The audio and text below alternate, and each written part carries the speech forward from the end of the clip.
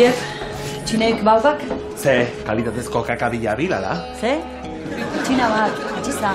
Nun dira xosak, ondina. Hemen xosai gabe ez kakaik ulertzen. Izai, klaben hitz egiten eo.